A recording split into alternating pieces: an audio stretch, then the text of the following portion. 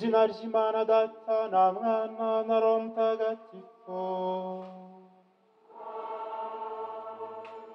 inema y'umwami wacu yezu kristu ni urukundo rw'imana data ni ubusabane kuri roho mutagatifu bihorane na hamwe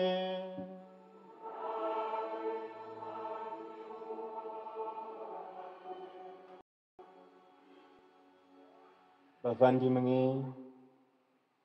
dukoraniye hano mu ngoro y'imana kugira ngo duherekeze kandi dusabire agata nyirahabimana watuvuyemo dukoranijwe no kumusabira kugira ngo niba hari umwenda w'icyaha afite nyagasani amubabarire amwiyereka iteka aruhukire mu mahoro. Rero yuko dukomeza kugira ngo n'umuhagarariye umuryango atubwire muri make uwo tugiye guherekeza no gusabira uwo ari we kugira ngo dusabire tumuzi.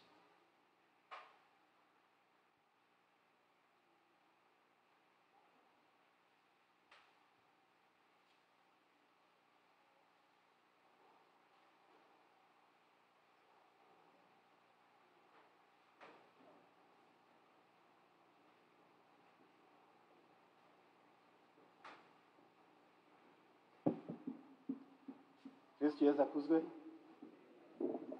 kristo yezu akuzwe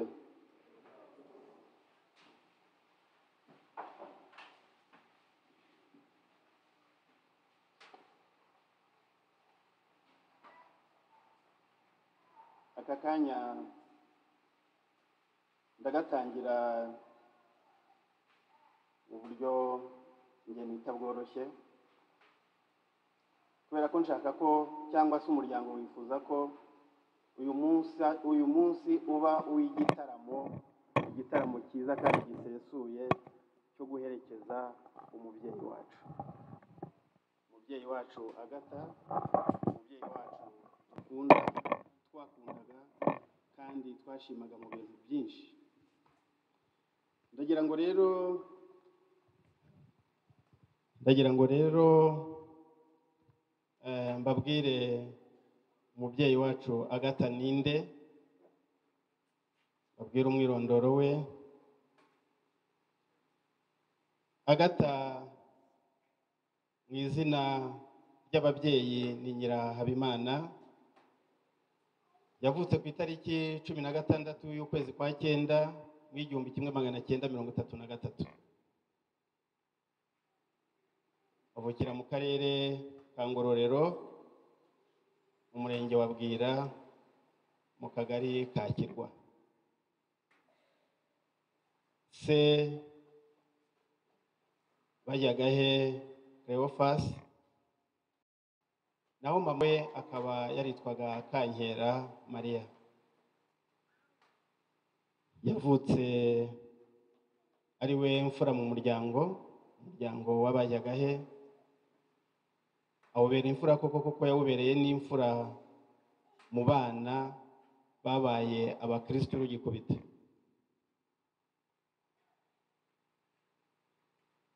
yavutse mu bana umuryango w'abana batandatu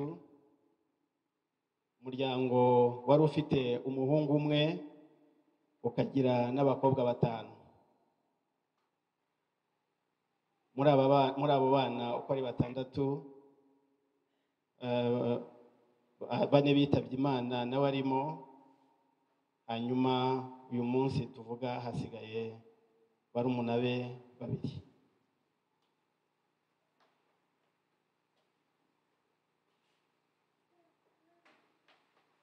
Agata buriya tumuvuze hari ibintu byinshi ngira ngo twamwigiraho kandi byatugora. Kugira ngo tubibashe. Kuko yari umubyeyi akaba umukristo koko. Ubukristo bwe ndagira ngo mwumve ukuntu bwari bukomeye.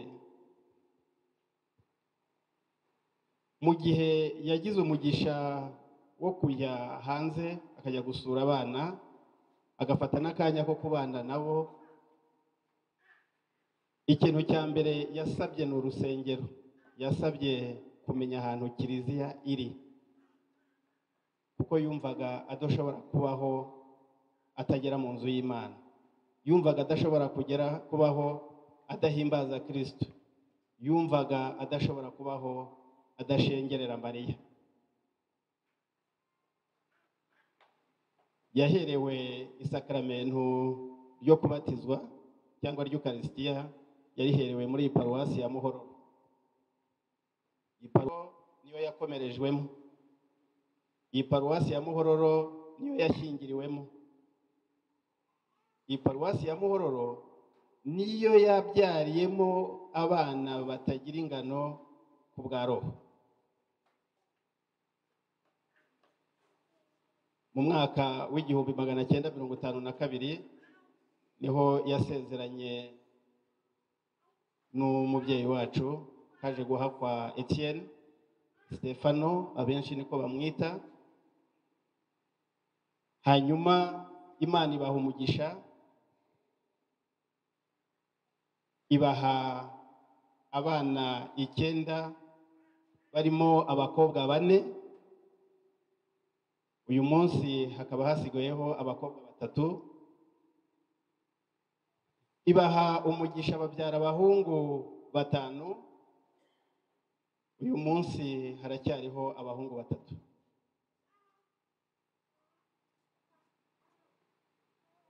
Ubwo ntabwo tuvuze abana yabyaye muri kiliziya ntabwo tuvuze abuzukuru afitemo kuko nabo ni benshi ntabwo bagira uko bangana. Tubabaze muri cya kinyarwanda cy'ubu cyangwa cyimbitse twavuga ko yageze aho agira inzovu. Asize abuzukuru mirongo itatu n'icyenda. Asize abuzukuruza cumi n'umwe. Yatabarutse ku itariki makumyabiri n'imwe z'uku kwezi k'ukuboza.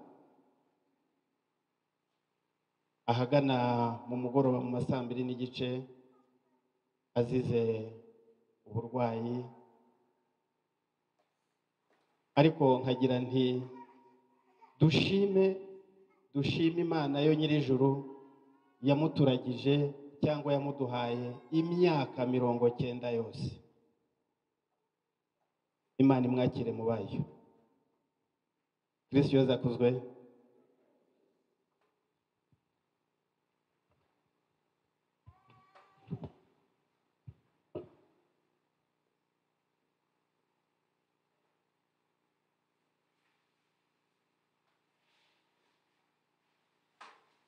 twese duhaguruke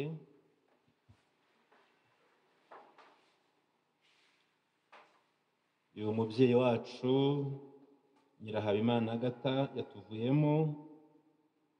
Twari tumuzi n'abatari bamuzi nabo mumaze kumumenya. Uyu munsi rero tuje kumuha icyubahiro kimusezeraho. Tuje kumusabira kugira ngo nyagasani abare ibicumuro yaba yaragize kandi amuhe ingorane y'ubuzima buhoraho. Koko umukristo urupfu ntiruba rutsembye byose kuko rumwinjiza iwabo mu ijuru ni cyo gituma no kuba twabuze uwo twakundaga kadakwiye guhanagura ibyishimo tugomba gusanga mu gitekerezo cy'uko uyu mubyeyi agiye guhabwa ingororano y'ibyiza yakoze akiri ku isi. Nuko rero ntitukarire nk'abadafite amizero kuko umunsi umwe twizeye kuzongera kumubona iruhande rw'imana. Birakwiye kwishimana n'abishimye niyo na yo mpamvu tudakwiye gutangazwa n'uko dushobora kuririmba areruya ya pasika ijambo pasika rikavuga guhita cyangwa se kwambuka. Turifuza ko uyu mubyeyi wacu wambutse ububabare bw'isi yakwinjira mu munezero uzahoraho. Duce bugufi rero twanga ibyaha byacu kugira ngo dushobore kumva ijambo ry'imana no gutura igitambo cy'ukarisitiya dufite umutima usukuye.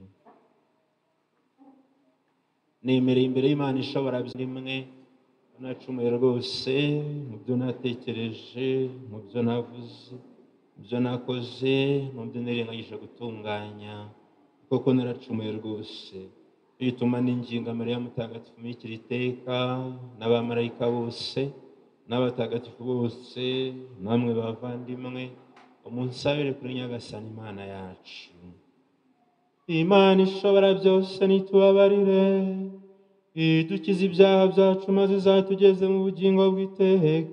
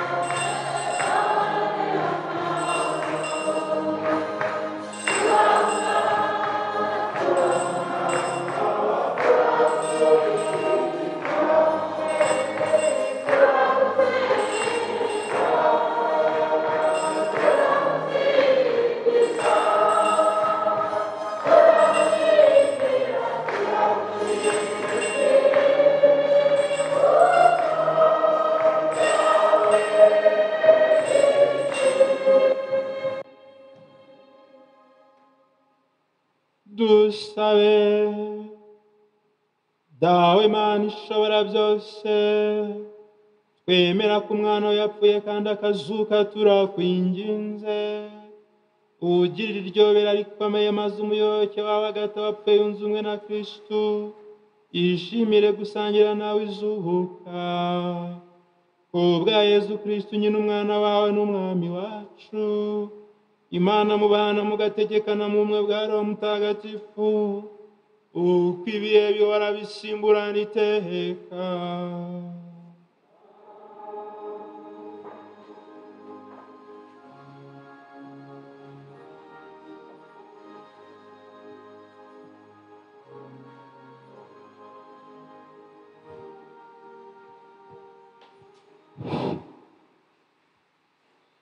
Isomo ryo mu gitabo cy'ibyahishuriwe yohani intumwa ngo mukubite amaso ngo ku birenge bye nk'uwap- nk'uwapfuye ariko anshyiraho ikiganza cy'iburyo avuga ati witinya ni jye uw'ibanze n'uw'imperuka kandi uriho narapfuye none dore ndi muzima. Uko ibihe bihora bisimburana iteka. Mfite imfunguzo z'urupfu n'iz'ikuzimu none rero andika ibyo wabonye. N'ibiriho n'ibigomba kuzaba hanyuma. Iryo ni ijambo ry'imana.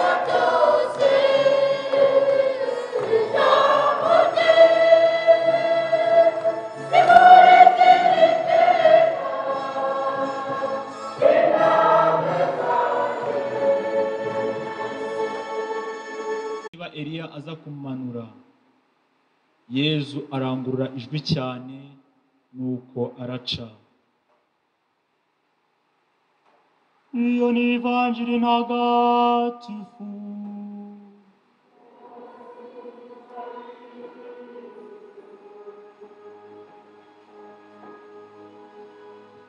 cya misa hari indirimbo batangije ndumva ndaza kubasaba bakongera bagasubiramo inyikirizo.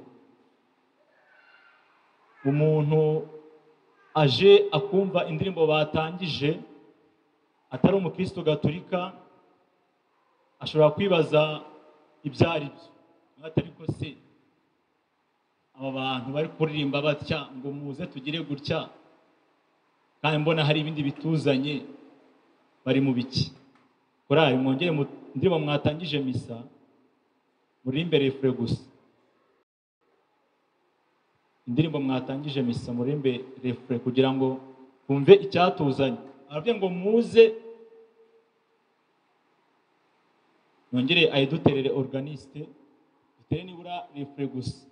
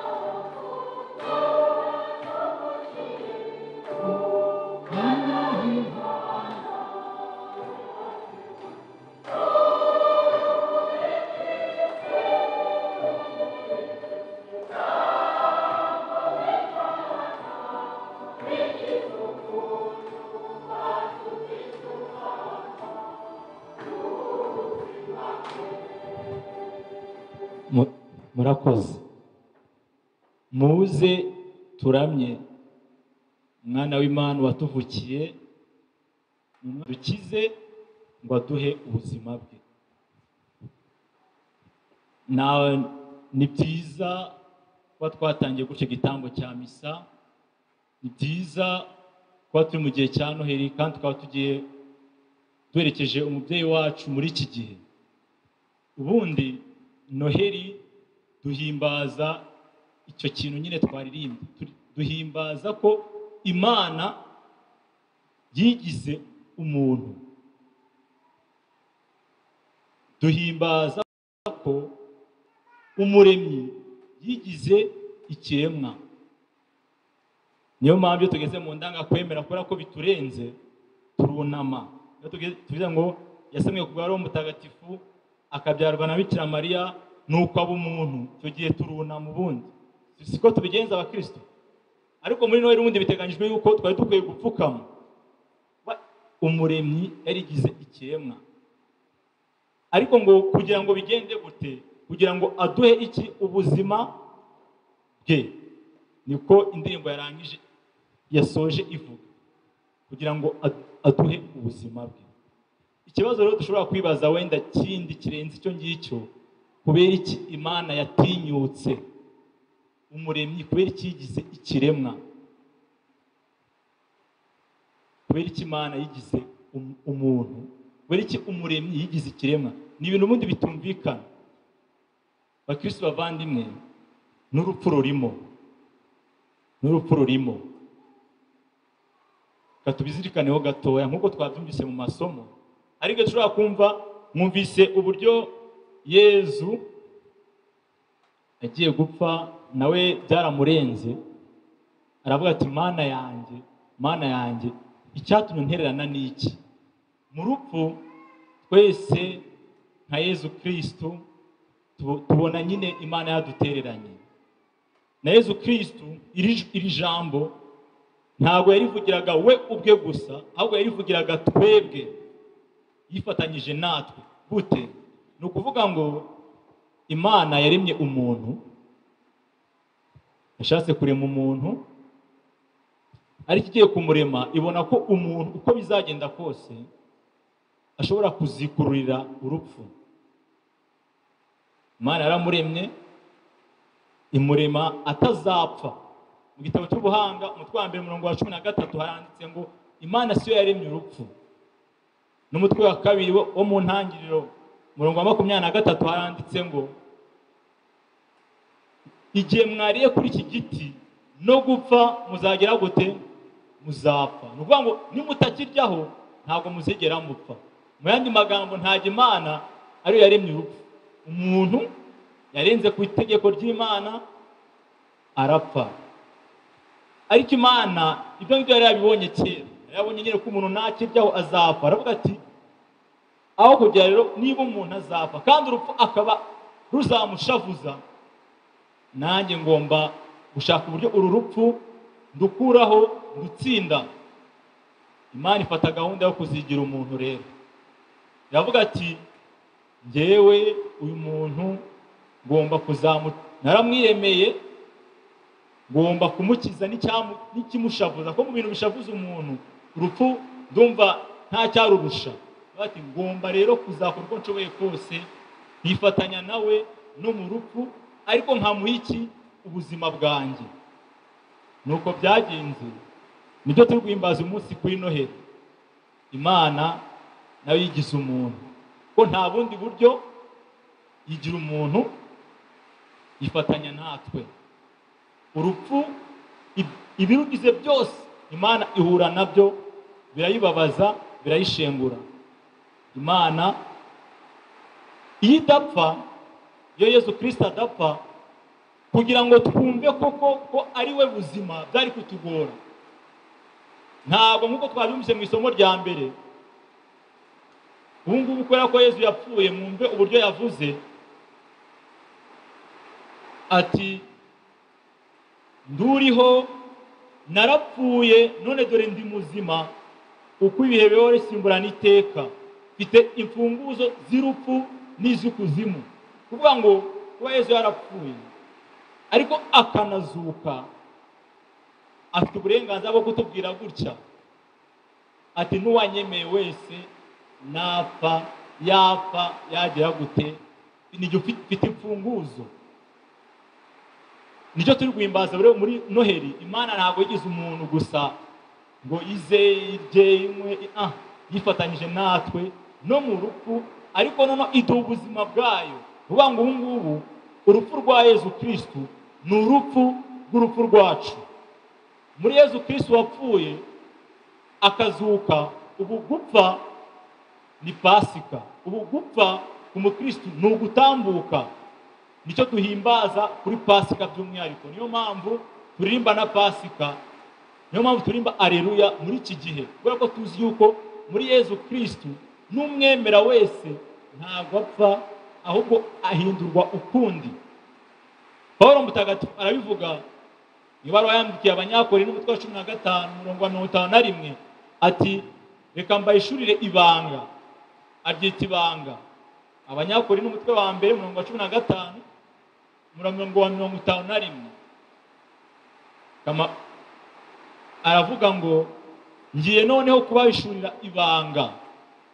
Twese ntituzapfa ahubwo twese tuzahindurwa ukundi. Imana ni cyo gitangaza yadukoreye. Yigize umuntu iza gutsinda icyaha itsinda urupfu ku buryo natwe abamweba gutya ah ah urupfu ni ukuva muri ubu buzima tujya mu bundi. Niyo mpamvu kuba twaje aha ngaha tuje gusabira umubyeyi wacu ntako bisa. Ko ntabwo tuzi yuko tuzi ko ubuzima butarangirira hano.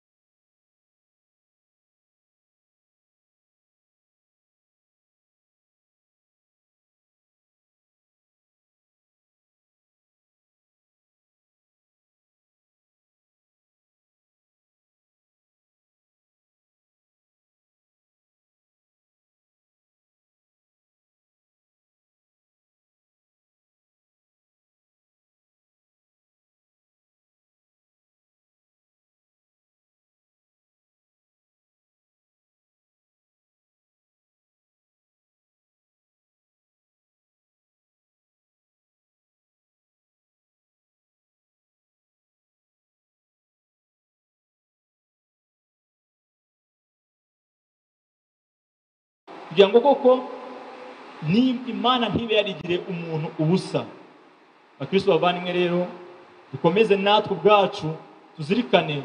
Niba koko twiteguye kuzapfa ariko nanone tukazukana na kristo waduhaye ubwo buzima. Turebe uko tubayeho tumusabire ariko natwe dukurikiza urwo rugero rwiza kugira ngo imana yigize umuntu ntibe yaraziye ubusa. Nyagasani yezu nabane namwe.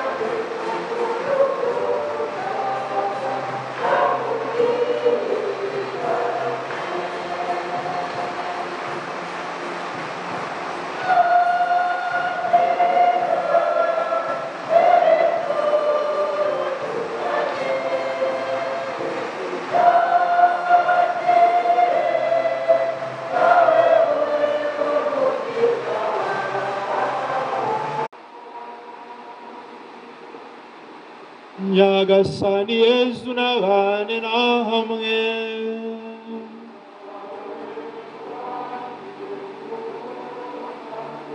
iyi mitima yanyu nihugukire iby'ijuru.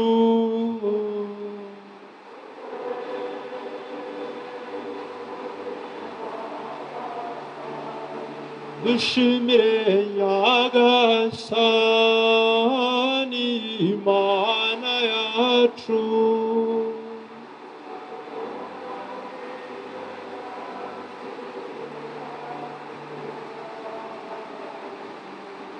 ni koko birakwiye kandi biratunganye ni ngombwa kandi birimo agakiza ko tugushimira iteka n'ahantu kandi biratunganye ni ngombwa kandi birimo agakiza ko tugushimira iteka n'ahantu hose nyagasani dawe nyir'ubutagatifu mana ishobora byose ugahoraho iteka ku bwa kirisiti umwami wacu.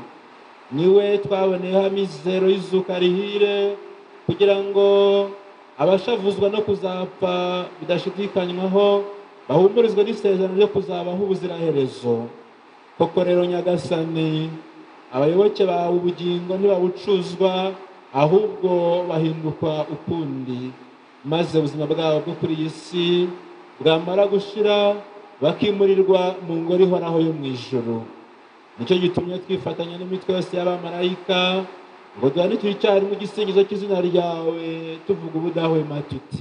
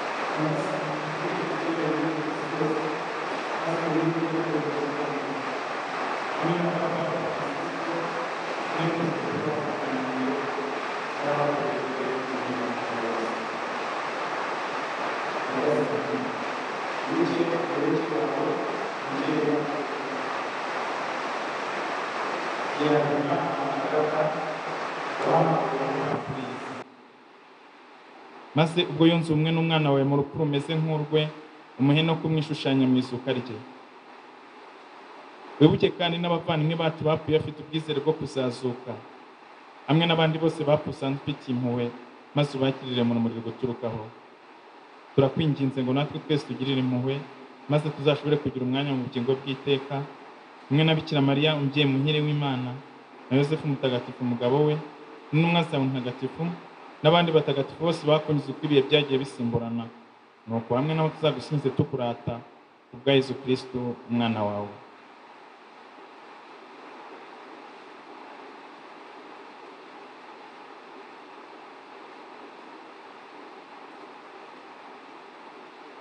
Dawe imana ishobora byose icyubahiro cyose n'ikuzo ryose ubishyikirizwa na kristo ukabihabwa hamwe nawe ukabiherwa muri we mu bumwe bwa roho mu butagatifu uko ibihe bihora bisimburana iteka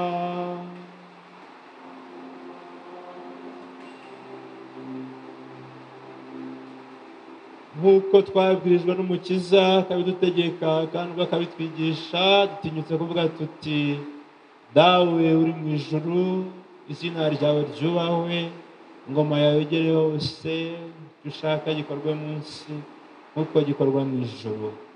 Ifunguro dutungure duhe none utubabare ibicumuro byacu nk'uko natwe tubabara abaducumuyeho ntuduterane mu bitwosha ahubwo dukize icyago nyagasani turakwinginze dukize ibyago byose ibe turi mu bisakazemo amahoro impuhwe zawe ziturengere zidukize icyaha cyose ziture n'amakuba yose mu gihe tugitegereje amizero mahire no kuza k'umukiza wacu yezu kristo.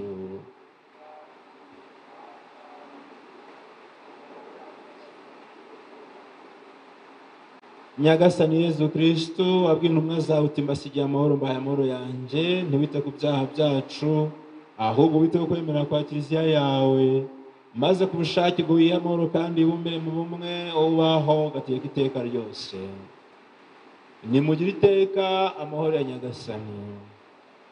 Nimwifurizanye amahoro.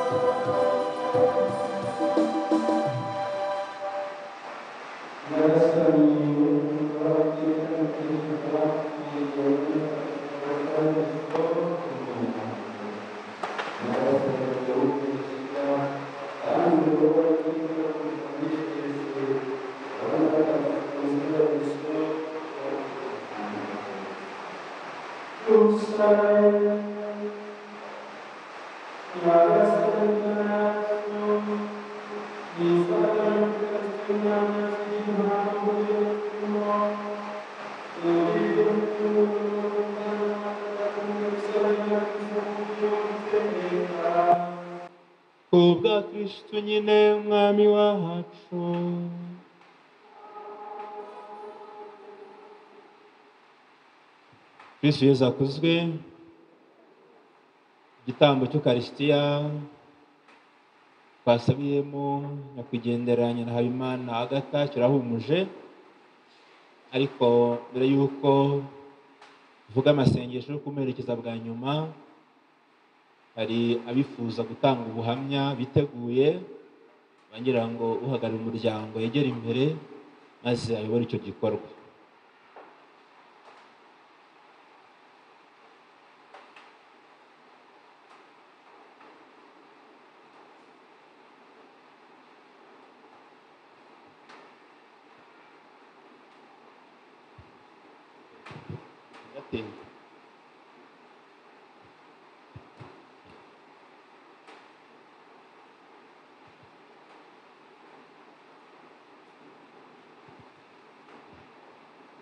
Kristo yesu akuzwe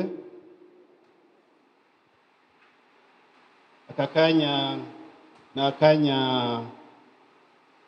ko gutanga ubuhamya ariko ndagira ngo banze nshimire abasaseridoti nshimire namwe mwese mwafashe uyu mwanya wanyu mukaza kwifatanya n'umuryango wacu muri iki gitambo cya misa. No mu gusezera bwa nyuma umubyeyi wacu kubw'umubiri kubwo mu isi aha ntabwo nifuza ko abantu baza gufata igihe kinini. Ndagira ngo umuntu wese turi buhe akanya agakoreshe neza rwose agerageze ntarenze iminota itanu. Nibikunda akoresha umwe cyangwa ibiri.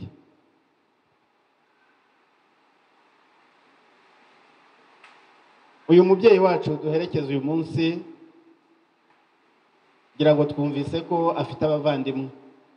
Abavandimwe babiri ari bo basigaye muri iyi si akaba ari bo tugiye gusigara ah, tureba ari bo tugiye gusigara baturera ari bo tugiye gusigara ari bo umuryango uhanze amaso mu by'ukuri.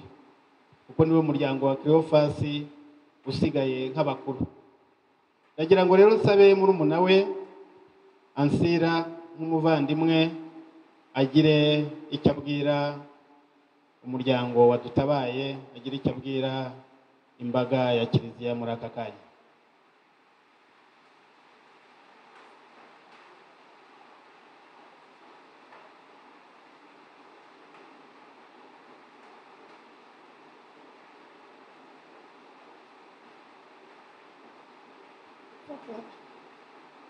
mpagaze aha ngaha nshaka gutanga ubuhamya bwa mukuru wanjye.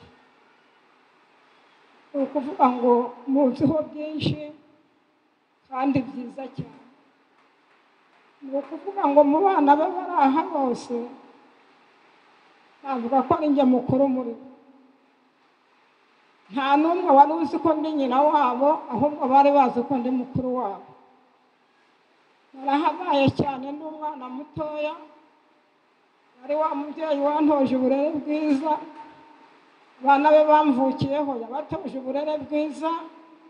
Icyo muziho mu rundi ruhande yari wa mubyeyi ugira urukundo ugira imbabazi z'abantu baje bamugana umva nta muntu wigeze aza ashonje ngo areke kumufungurira. Nta waje yambaye ubusa ngo areke kumuha icyo kwambara. Abana bananirwaga n'ababyeyi be bazaga kwa sitefano akabakira ni ukuvuga ngo yari wa mubyeyi wita kuri buri wese atarobanuriye ku butoni. Muziho byinshi namuvugaho. Ntiyari azi gukankamira abana ngo ababwire nabi. Umwana iyo yagiraga ikibazo atari yabonana na ubwo umwana agwiriwe neza. Nakuze mubonana uruku- urukundo ndetse n'umurava. Ikindi namuhamiriza yakundaga kubaha imana akayitoza n'abana be bose.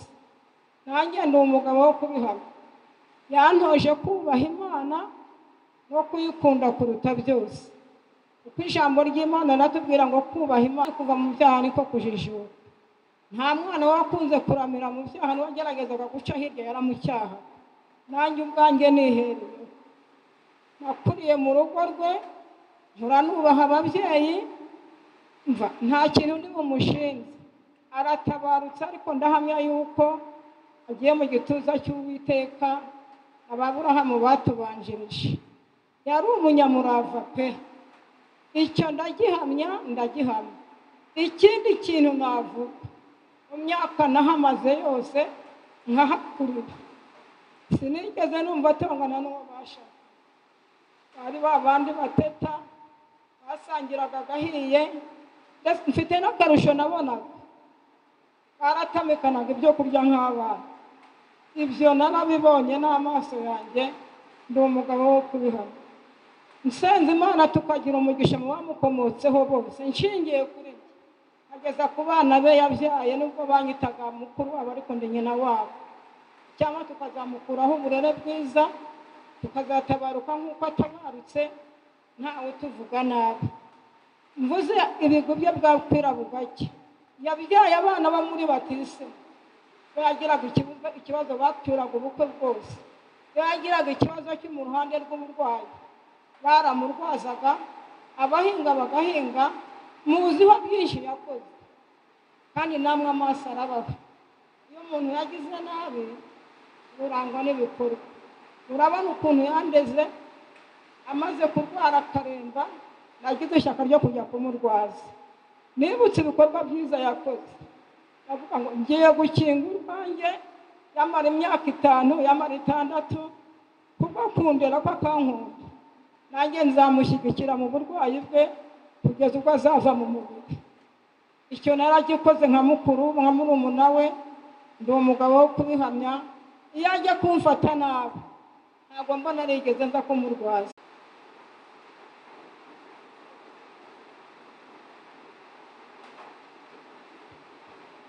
Kristo yezu akuzwe Eh, nk'uko wabivuze amazina yanjye nitwa urumuri gaeta Eh, uyu mubyeyi watuvuyemo akaba ari nyogokuru. Gusa wenda aburungano baba bari hano byabatungura bumvishe yuko mvuga yuko ari nyogokuru. Kubera yuko abasuraga abo twabanye bari bazi ko ari we mama. Yewe niyo nagendanaga na ba masenge cyangwa uriya mukecuru n'ubundi bavuga ko ari mama. Nsanze cyangwa bamuntumyeho ntabwo bavugaga ko ari nyogokuru. Wenda ntabatindiye nababwira impamvu namwitaga mama aho kumwita nyogokuru. Eh, umubyeyi wanjye umbyara mu nda amaze gutabaruka nahise njya mu maboko y'uyu mukecuru. Mu kujya mu maboko ye nakuze ndi umwana ntari nagira ibyo menya birebire nta kintu mbiziho cyane. Noneho aho nkuriye eh, nkajya nseka nawe tuganira twicaye ku ziko ubwo ngubwo nka- nkamu- nkamubwira ukuntu abantu bajya bibaza impamvu izindi mfubyi babona zigunze ngewe ntigunze bikabayobera. Arambwira- ati se ntabwo bizi ko nyine uri imfubyi? Ndamubwira se ndi imfubyi gute? Arambwira ati nubwo nkurera ariko ndi nyogokuru wawe ntago ndi mama wawe. Ese ukaba nyogokuru gute? Kandi njye numva uri mama wawe arambwira ati impamvu nagufashe nk'umwana mama wawe ajya gutabaruka yararize cyane.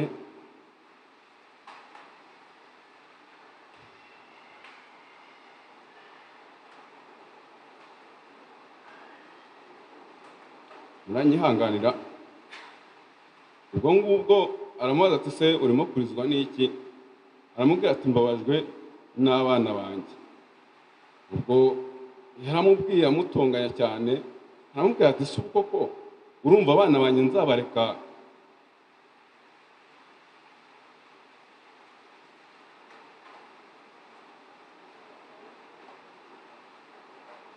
Bakan- bakandagara. Ubwo ngubwo aravuga ati nzagerageza ibyo nzashobora byose nzabikora nk'umubyeyi. Ubwo ko yarabikoze adukuza tutarimo kugira ikibazo cy'uko nta babyeyi dufite ubwo njye nabo n'ubundi twari dusigaye. Wenda ntabwo byashobotse yuko bahagera kubera bari kure baradukuza noneho wenda ikindi nongera kwibuka kuko ibyo nakabaye mvuga byakabaye birebire. Eh, agiye kujya hanze asanze abandi bana yaratwicaje njye na mushiki wanjye ubwo ngubwo aratu- aratubwira ati ese bana banjye ko barimo kumubwira ngo ningende kandi twari dukuze pe. Twari turimo turangiza segonderi. Ariko we nk'umubyeyi nyine akumva yuko ataturi iruhande yaba at- atatiye isezerano. Ati "Muza- muranyemera ntabwo muramfata nabi. Nuko cyakora ntabwo bari kuvuga ko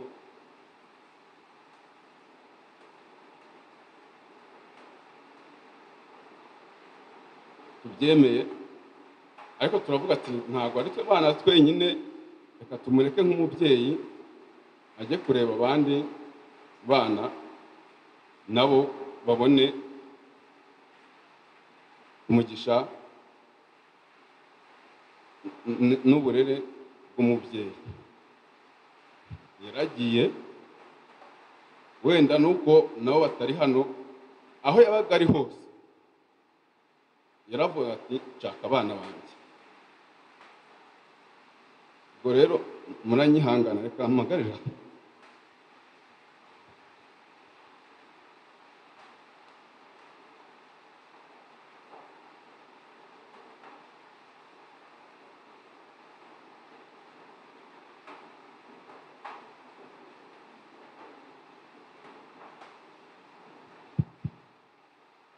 arakoze kayitani yagomba yagombaga kuvugira abuzukuru nubwo atabashije gucutsa ijambo uko yabishakaga ariko ngira ngo umutima we utubwiye byinshi. Buriya yavugiye n'abandi.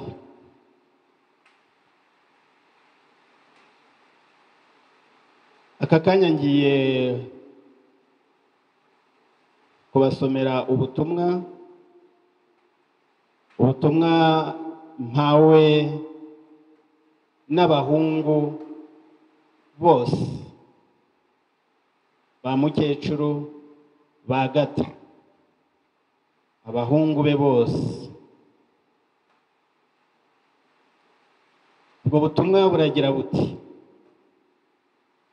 mubyeyi agata mama nahejo mubyeyi nkunda nkesha uko ndi. Ndabona uhisemo kwiheza. Ese yaba ari ukurambirwa ingiro n'imigenzo inyuranye y'abatuye iyi si dutuye? Reka da. Ari nk'ejo bundi uba ugize uti ave mwana witandukira.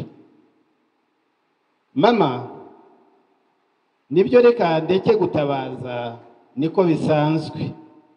Hapfa uwavutse. Kandi uwavutse aba yarabyawe. Ubu ndakwiyambaje mubyeyi. Wowe wabyawe ukanabyara. Muri urwo ruhererekane rw'ubugingo. Waba uzi aho rurema aherereye? Ngo nibura nzamwisabire kuba ndemeye undi nkawe. Iruhukire mubyeyi ugiye uturaza urukundo kuko urukumbuzi rwo turutunze. Wadutoje kudata umwanya kubitatira ubwitonzi. Urukundo n'ubworoherane uri umubyeyi wa benshi muri twe. Aho ugiye ugereye amahoro uzadusuhurize abo uhasanze. Nat- natwe kandi igihe nikigera tuzabasanga nk'abisanga. Mama mubyeyi nkunda nkesha ukundi. Nakunda nde? Nte kukurusha. Iruhukire mubyeyi. Ubwo ni ubutumwa bw'abahungu be bose. Uko bari hanze banyujije mu ikaramu y'umwe mu bahungu dr. Murenzi jean baptiste. Aka kanya ndagira ngo nsabe inshuti y'umuryango inshuti y'akadasohoka eh, umuvandimwe theogene aze nawe agira icyo abwira imbaga y'abakristo.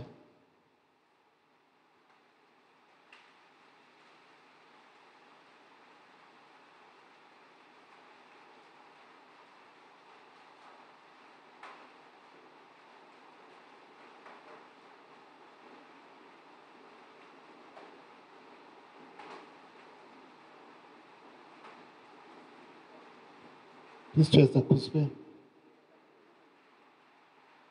nanjye mpagaze hano nk'umwe mu bana agata yareze nkaba mwita umubyeyi kandi arabikwiye. Yewe yandeze nageze mu muryango wabo nari inshuti y'umuhungu wabo kabanda rudoviko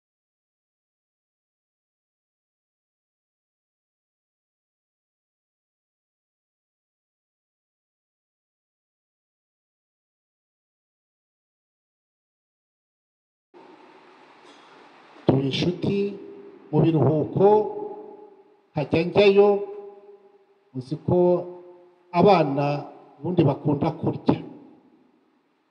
Umukecuru agata rwose umuntu wagezeyo kugabura yari abizi niyo wageragayo byashize yaravuga ati reka ndebe ibyihuse. Ntabwo washobora kumucika atakugaburiye. Rero washoboye kugaburira umwana nta kuntu atamukunda. Yari umubyeyi. Ku buryo twarakuze turashaka. N'iyo nageragayo njyanyeyo n'umudamu wanjye namufataga nk'umukazana. Iyo iyo twageragayo tugasanga n'abakazana be. Ni gakeya umukazana abwira nyirabukwe ngo mama. Abakazana bamwitaga mama wabo. N'ubu abakazana bagihari ni mama wabo. Ni ukuvuga ngo izina ry'umubyeyi ararikwiye. Ikindi namutangiraho ubuhamya hamwe n'uwo bashakanye kaje kubakwa sitefano bari abakristo. Bari abakristo njye nabiboneraga ko ntago wararagayo ngo mbe mwaryama mutavuze isengesho. Cyangwa kwitabira misa z'icyumweru wenda usibye uburwayi rwose ibyo nabitangira ubuhamya ko misa z'icyumweru bazitabiraga. Ikindi natangiraho ubuhamya ni ukwihangana mu burwayi yagize. Uburwayi yagize nagiye ngira amahirwe yo kumusura. Byatangiye yajyaga ajya gusura abana i burayi akavayo nta- kibazo.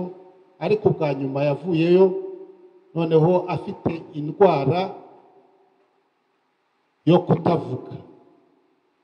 Ariko na byo byagiye bigenda eh, byagiye bigenda bu- bu- buhoro buhoro kuko akigera ino yaravugaga akagira ibyo akubwira ukabyumva. Yageraho ukaza ntubyumve. Ariko uka- ukabona afite urugwiro rwo kukuganiza. Mu kwa gatandatu k'uyu mwaka ni ho nahageze. Noneho kuvuga ngo mwumvikane bitarimo gushoboka. Ariko akagira urugwiro rwo kukuvugisha. Akakumva agashaka kukuvugisha ukabona biranze. Namaze nk'akanya rwose tujyamo turanabyina tukabyina za mbyino za kera ngo nawe mufata umwanya rwose ubwo abikunze reka tubikore. Ukabona afite urugwiro. Ashobora kuvuga ariko ukabona afite urugwiro. Kumusura bwa nyuma mu kwihangana ni ku itariki cumi n'ebyiri hari ku kabiri z'ukwezi kwa cumi n'abiri. Ni ho naje asanga n'uriya murumuna we yansira ari kumwe na jose ubwo yari agishobora kuvuga. Yari agishobora kuvuga ariko mbese ubona ari umurwayi urwaye uryamye ariko yihanganira ububabare. Ukabona arababaye ariko akanga kubigaragariza abamurwaje. Ubwo rero muri makeya. Twamufatiraho urugero rwo kuba umubyeyi. Kuba tumwita umubyeyi ni uko yatureze. Urundi rugero kumufatiraho kuba umukristo. Niba wenda ubu agashashi k'ubukristo nawe ako afite nako nakamukuyeho nakakuye k'uwo muryango we n'umugabo we noneho tukamukuraho n'urugero rwo kwihangana mu burwayi.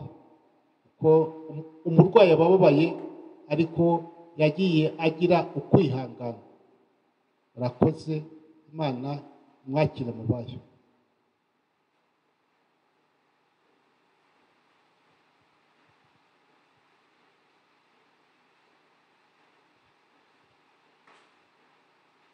arakoze teogene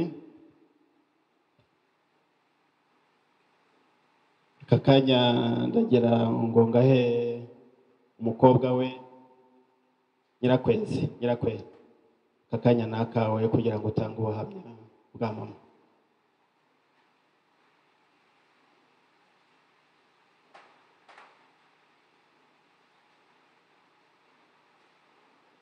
Iminota itatu.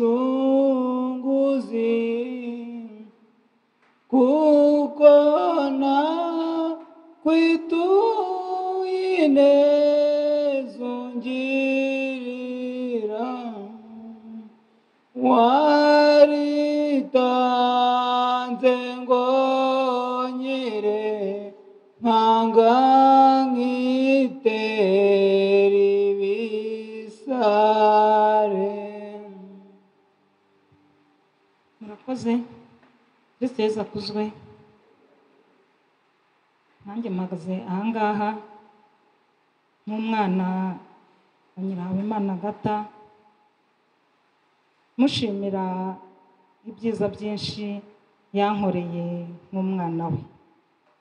Ni byinshi babivuze ariko ngewe ndashaka kuvuga ku bintu bitatu gusa. Ndashaka kuvuga ku kintu kijyanye no kumenya guca bugufi. Ndashaka kuvuga ku kintu kijyanye n'urukundo ndetse gifatanyije no gufasha abakene. Mama yantoje guca bugufi aho nabonye ko yabanye na data mu mahoro urugo rwabo rukaba urw'ingenzi. Narinze menya ubwenge ndinda mpava ndetse barinda n'iyo bisazira nta na rimwe ndabona batongana cyangwa ngo barwane icyo kintu cyampaye imbaraga nanjye nifuza kubaka urugo nk'urwo ngurwo kandi ntekereza ko byashobotse. Ikindi ni ikijyanye n'urukundo.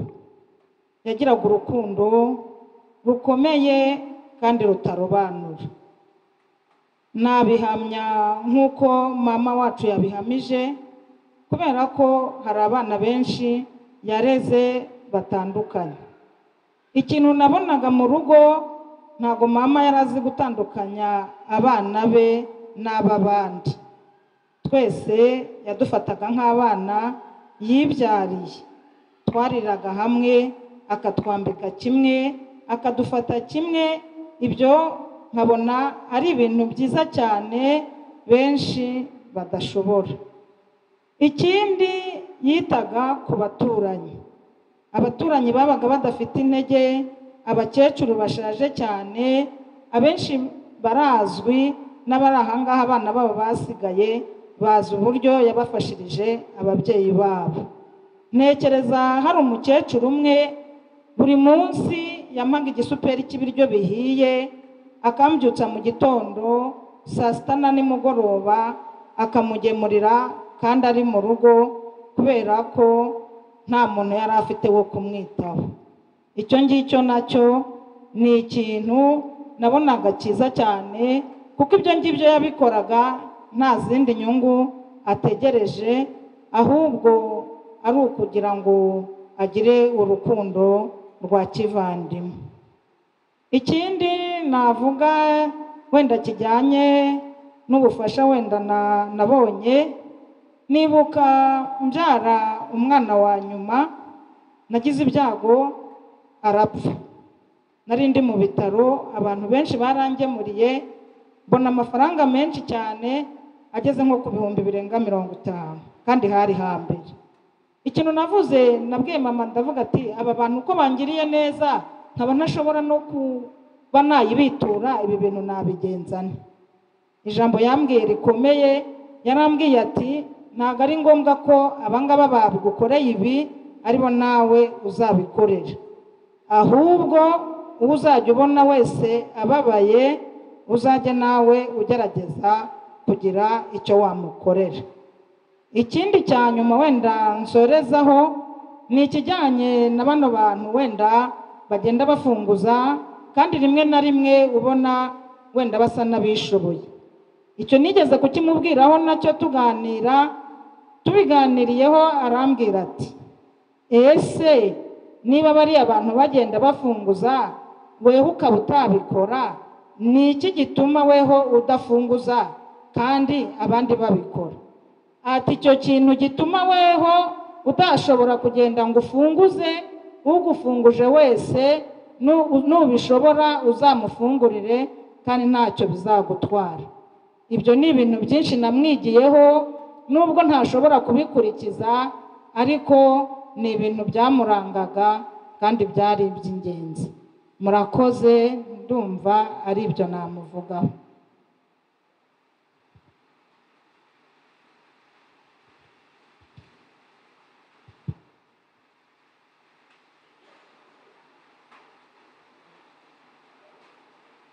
Aka kanya ntabwo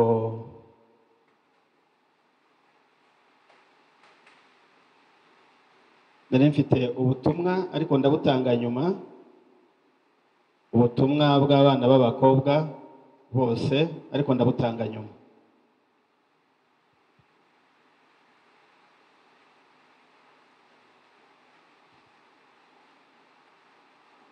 Ndagira ngo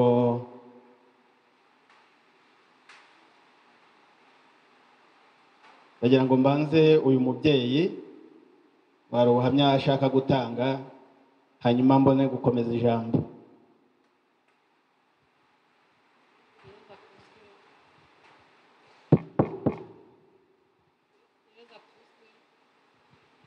Yesu akuzwe mpagaze aha nanjye ndi umwe mu bana ba batisimu mama yambereye umubyeyi igihe nari maze gushaka amaze umwaka umwe. Ababyeyi banjye bagapfa. Yaraje ambera umubyeyi ambera wa batisima ambera umubyeyi wo mu nda. Akangira inama akanyigisha mbese namuboneyeho byinshi yanyigishije imico myiza myinshi. Yafashe kera ndi umwana mutoya ndibuka muri mirongo irindwi na gatatu. Intambara yari ibaye aza kunkura mu rugo aranjyana. Ndi akana gato k'imyaka itandatu anyitaho ati mwana wanjye bahangaha baha. Ibyo byose ndabyibuka. Nanone ababyeyi banjye icyenda kane bapfuye yambereye umubyeyi nari maze umwaka umwe nabyara akaza kumpemba nagira guta mbere umwana akanyigisha. Mama yambereye umubyeyi n'aho agiriye hanze yaza aje gusura abakobwa be nanjye akanshyira mu bana akaza akansura akamara iminsi ibiri tukaganira akanyigisha. Mama imana imumpera iruhuko ridashira aruhukire mu mahoro. Nanjye aho mpagaze aho imana ikintije ubuzima igihe nk'iki nzajya musabira misa. Imana iruhuko ridashira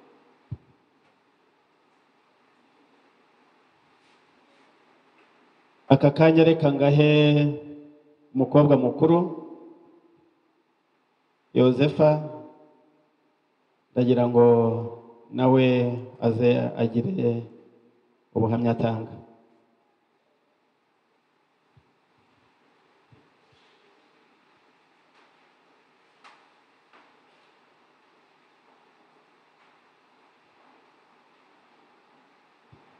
Yadutoje byinshi aduha urugero rwiza nabyara umwana nyuma y'iminsi cumi n'itanu ati nimubatirishe umwana hakiri kare. Nkamubatirisha bakaza abaturage bose bakaza.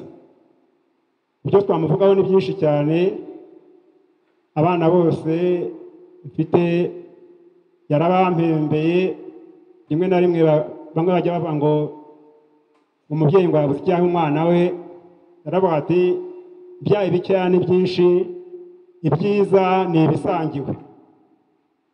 Aho abana be bamujyaniye n'ubundi akavuga ati ngiye gusuhuza abana banjye. Akaza mu rugo tugatarama tukabyina rwose ibintu bikaba byiza abaturanyi bose bakabyishimira. Imana rwose imuhiruko ryashira nta byinshi twavuga uretse kumusabira kandi ijuru yararibonye kuko yarikoraniye. Yararikoreye rwose haba mu rugo iwe nageragayo tugatarama tukagera na saa tanu sangahe abana bose n'abaturanyi bari mu gitaramo ugasanga ni byiza cyane. Murakoze rwose imana ikomeze imwakire mubayo.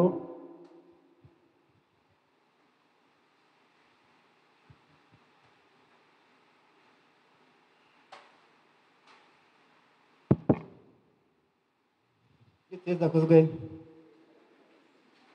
nanjye mpagaze hano n'umwuzukuru we abashije kubona utwo nyogokuru akwita umuganje. Mu by'ukuri kwitwa umuganji ni nk'ikintu gikomeye ku muntu.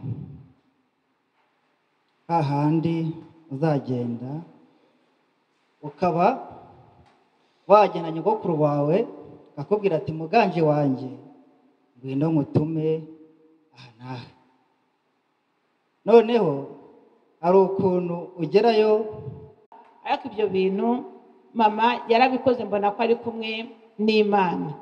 Bigeze aho bikomeye cyane mama ntabwo yatakaga kandi ukabona ko ababaye. Ubwo rero ibyo byose nabonye yuko ari rwa rukundo yatangiranye kuva kera nkimumenye ndi umwana mutoya mama twigeze kwicara hamwe turavuga ngo ariko mama kuko nta myenda yo kwambara turajyana iki mu misa? Ara- arambwira ngo ariko se nkubaze. Ngo ngewe nkimara gusezerana nari mfite agatete kamwe. Ngo nigwa nkambaye ku manywa ngo nimugoroba nkakamesa ngo mu gitondo nkabyuka njya mu misa. Ngo ese ubwo ntabwo nasengaga? Ngo ese imana ireba imyenda? Cyangwa ireba uko waje mu kiliziya gusenga. Icyo kintu ahita aki- akintuza ikindi natanga ubuhamya kuri mama yakundaga umunyeshuri wiga. Mama ntabwo yari yarize ariko kugira ngo uzasibe ishuri yabaga yaguhitana akavuga ati jya ku ishuri kubera ko ishuri ari ingenzi ukabona ni ibintu ashyize imbere. Mu rugo ntabwo twashoboraga gusa- kuryama tudasenze. Yaratubyutsaga papa yabaga ahari ni we wakoraga gahunda y'uko dusenga. Ariko yaba adahari akavuga ati muraryama mudasenze kubera iki? Hanyuma ikindi nasorezaho abenshi bavuze yadutoje kuva kera ni ukumenya gufasha abatishoboye.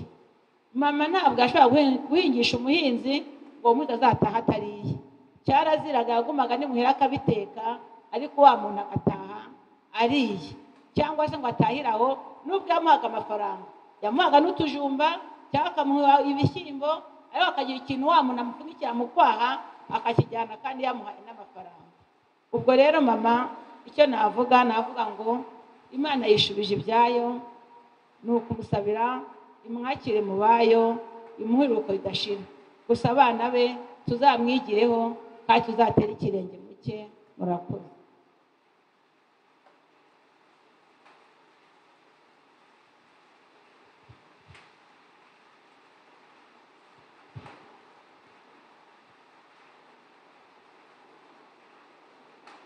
ngira ngo turenda guhumuza ubuhamya. Ariko mbere y'ibyo ngibyo ndagira ngo mbanze mbasomere ubutumwa. Mfite ubutumwa bubiri ndabanza nsome bumwe hanyuma niburangira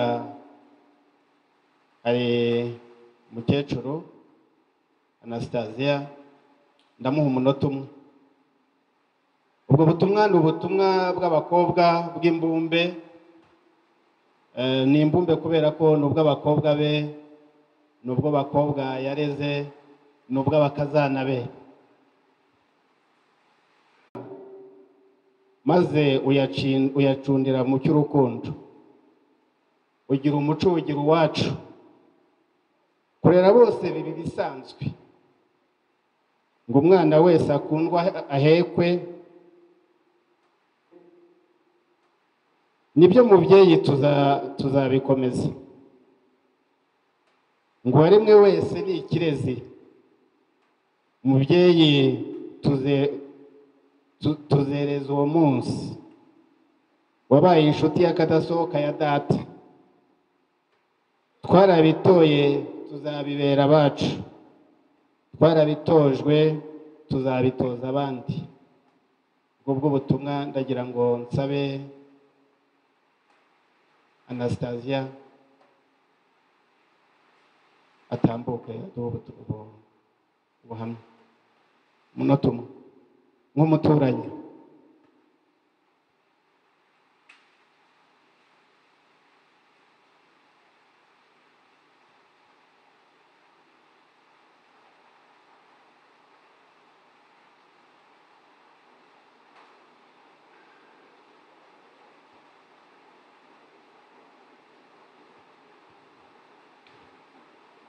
nanjye icyo mvuga ni ugushima kuri uyu muvandimwe wanjye wabashije gutabaruka. Naje musanga ndi mutoya ndaza turabana twabanye neza ntawigeze abwira undi nabi. None arinze yivira mu mubiri ntawe uravugana n'undi nabi. Kandi noneho ikintu mushimira yakundaga buri muntu uwo ari we wese wagenze muri urwo rugo. Kugeza kuri iyi saha rero ndamusabira imana imuhe iruhuko ridashira nta kindi ndi kumusabira. Aho agiye natwe tuzamusangayo haba ejo cyangwa ejo bundi. Ubwo rero kuvuga make ntabwo ari ukuyameza naje musanga pe umugabo wanjye arahari yohani jean bosco abiyakare wowe mugabo wanjye twashakanye nta n'ubu turacyari kumwe. Abana basize dukomeze kubana mu mahoro imana idufashe.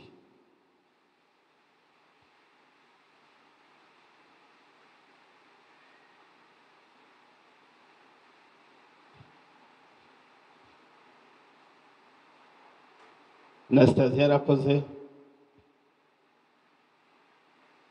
Shema. Tuguhaye umunota umwe.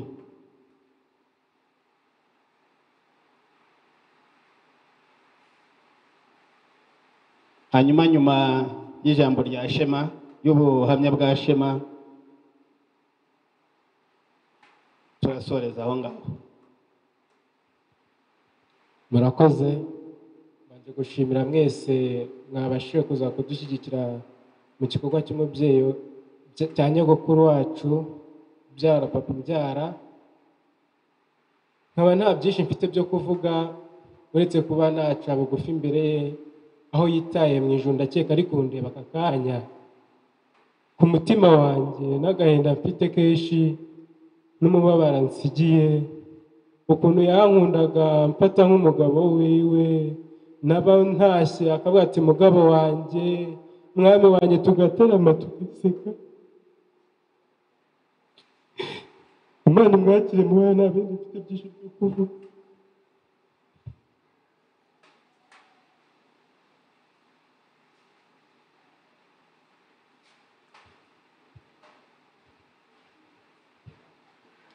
arakoze shema ndagira ngo dusoreze ubuhamya aha ngaha ijambo risigaye ry'umukuru w'umuryango yampaye eh, rya kabanda louis.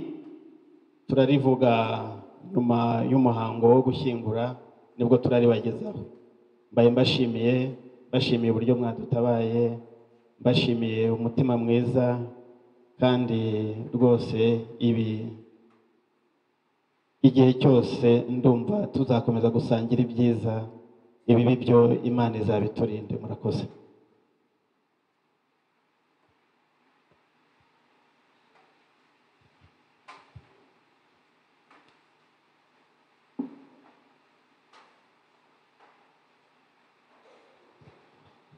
Kristo yezu akuzwe. Turashimira abamaze gutanga ubuhamya bose. Ibyo bamaze kuvuga ni ibikomeza ukwemera kwacu. Abakiri bato mukumviraho none namwe mukabaho neza. Burya uyu mwanya uba ukwiye kugira ngo eh, abakiri bato barebe ukwemera kuko duherekeza ibikorwa byamuranze hanyuma nabo baharanire gusiga inyuma yabo ibizavugwa byiza. Kwemera kwe bishe ko kwaherekejwe n'ibikorwa byinshi kandi byiza. Bityo rero icyo ivanjiri twigisha urukundo mu bikorwa akaba yararukomeyeho kandi nk'uko byagarutsweho twese ararudusigiye aduhayemo umurage maze natwe ntiturebereho tuzishimire ko twese mu ngoma y'ijuru tuzashimirwa ko buri wese yakoze icyo agomba gukora kandi akagikora neza. Abo mu muryango bose rero n'inshuti n'abatabaye mwese nimukomere kandi mukomeze musabire. Twese tugiye guhaguruka rero maze tuvuge amasengero y'uwerekeza bwa nyuma nyakwigendera nyirahabimana hagati twese duhaguruke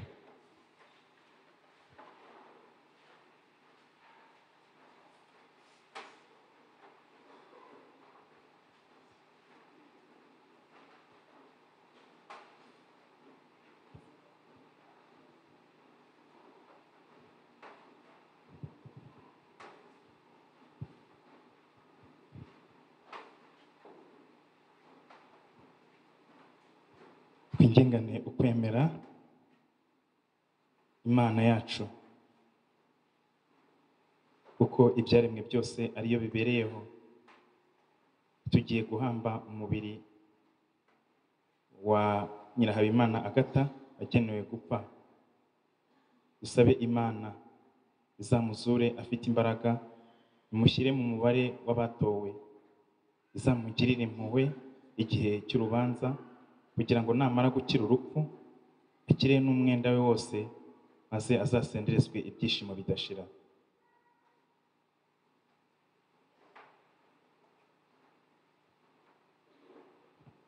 Dawe nyir'ubutagatifu turagushimira kubera abari hano n'abapfuye kuko washatse ko unyakwigendera nyirahabimana agata ari we watumye dukoranira hano uyu munsi. Turibuka ko umwana wawe yezu kirisitu mu rupfu rwe rwo ku musaraba yababaye cyane kandi ko kubera ubuzima bwe burusha urupfu imbaraga yemeza ko tuzabaho. Nicyo gituma hamwe n'abatubanjirije bakaba bafite ubuzima muri wowe hamwe n'urugaga rw'abatagatifu bose tugusaba duhuje ubuvandimwe tuvuga tuti dawe uri mu ijuru izina ryawe ryubahwe ingoma yawe yogere hose. Icyo ushaka gikorwe munsi. Nk'uko gikorwa mw'ijuru. Ifunguro ridutungu riduhe none utubabarire ibicumuro byacu nk'uko natwe tubabarira baducumuyeho নতুন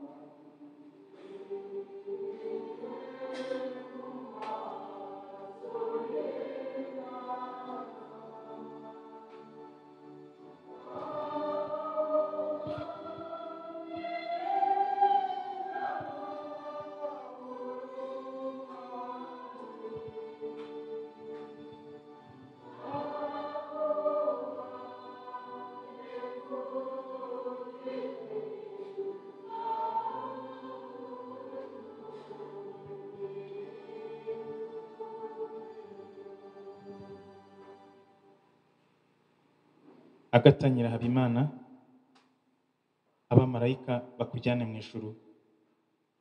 Nugerayo abahowe imana bakwakire bakugeze mu murwa mutagatifu wa yerusalemu. Urugaga rw'abamarayika nirukwakire maze ubone ihirwe ridashira hamwe na lazaro wahoze ari umukene.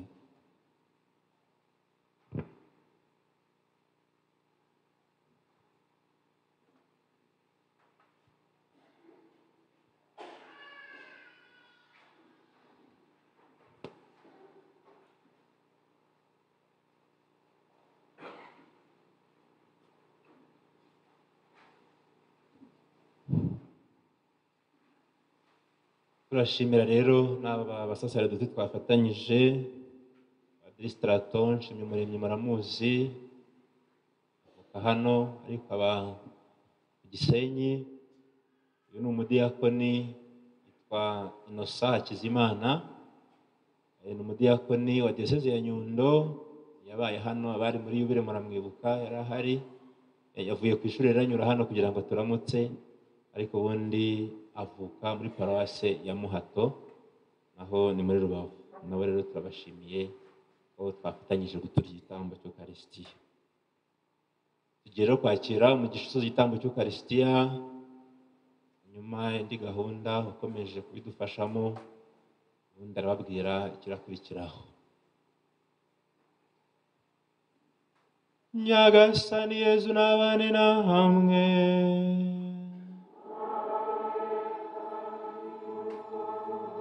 ushobora byose n'abaho umugisha. Imana data na mwana na roho mutagatifu nimujyana amahoro ya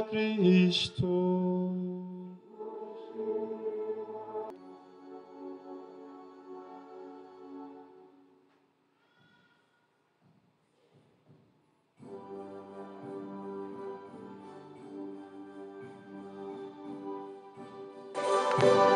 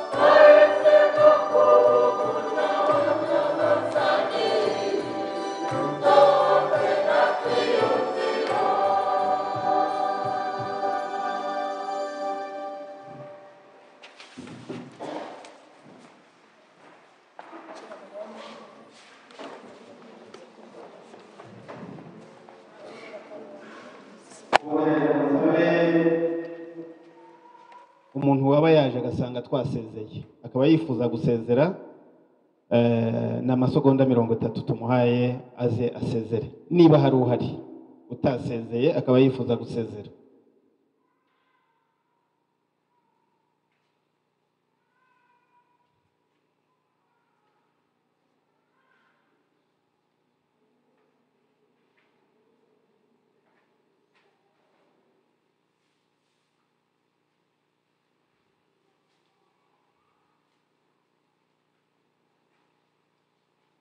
Hanyuma ikindi igihe arabasezera cyangwa barabasezera ndagira ngo nsabe abakobwa badufashe gufata indabo hanyuma bahagarare neza hariya ah, hano muri koridoro aho tugiye gusohokera. Bazifate bahagarara neza muri koridoro aho tugiye gusohokera neza. Icya nyuma ndagira ngo menyeshe abantu yuko umuhanda umuhanda abantu bamenyereye kunyura uriya umanuka ku musigiti wanyereye cyane abantu bose barongera banyura umuhanda uca munsi aho munsi y'aho umubyeyi yari atuye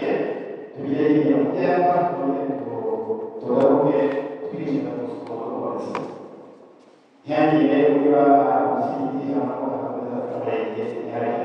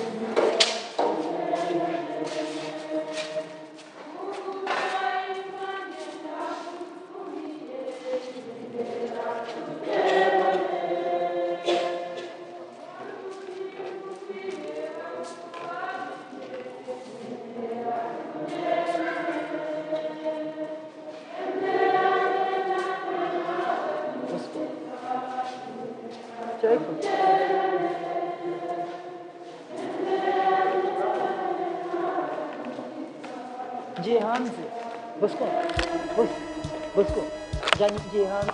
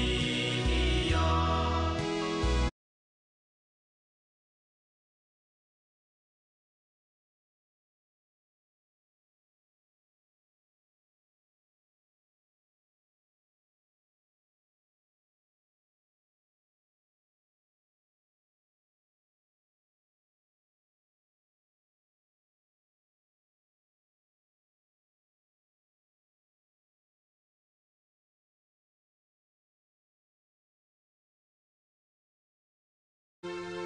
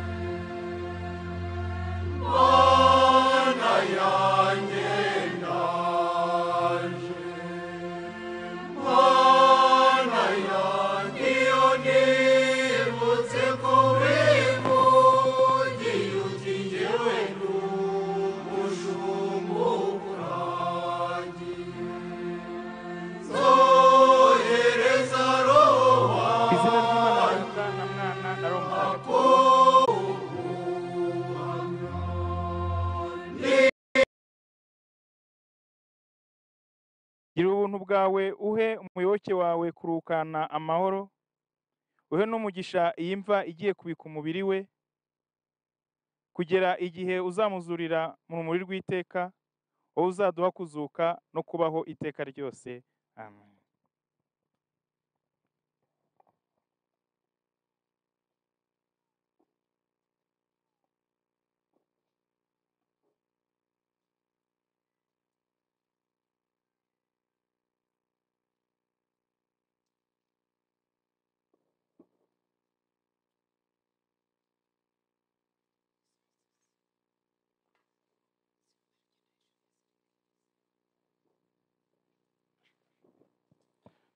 Bavandimwe. Yesu yaravuze ati ni n'ubugingo. Unyemera n'aho yaba yarapfuye azabaho. Byongeye umuntu wese uriho kandi akanyemera ntateze gupfa. Ni mucyo rero turagize imana uyu mubyeyi wacu watuvuyemo.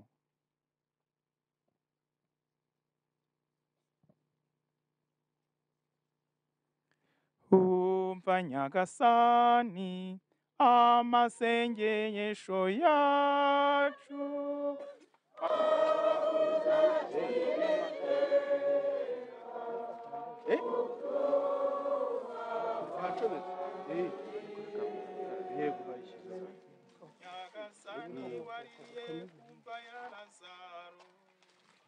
Duhanagura amarira yose maze usubize uyu mubyeyi wacu ubuzima iruhande rwawe turagusabye twumve nyagasani.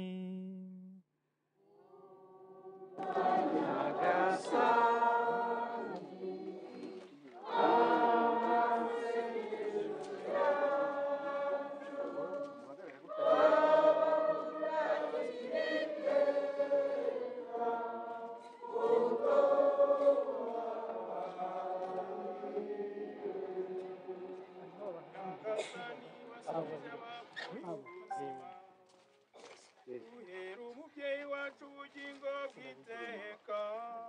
irasohoka nabi kubera ko nyine nta vuza dufite. Arimo arakoresha ku mikorofone kandi nyagasani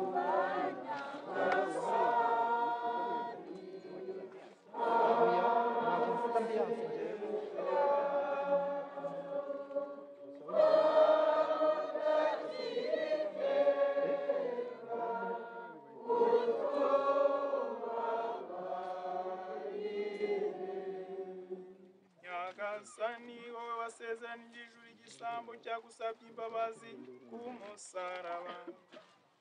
Tugereze umubyeyi wacu agatanyira abimana mu tutwumve nyagasani nyagasani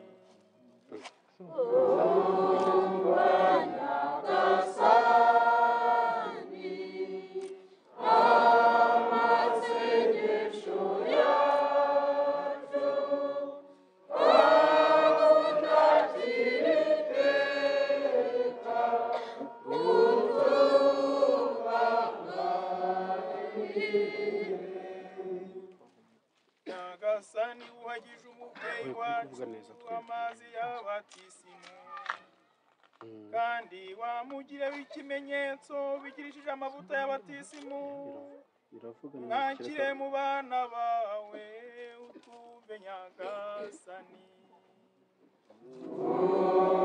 Natwe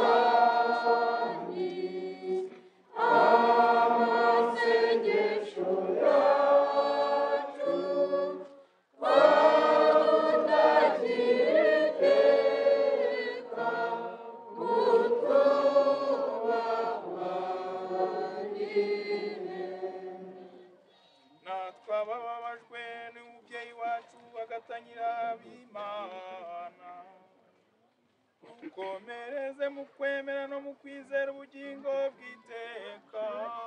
Utwumve nyagasani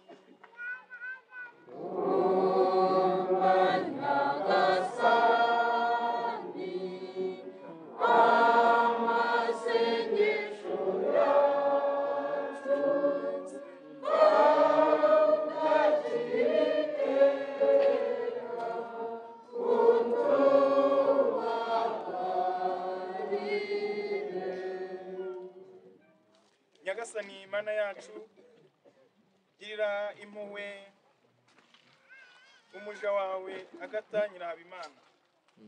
Ugirire ko yahoze yifuza kukubera umuyoboke udahemuka maze ureke kumuhanira ibicumuro bye.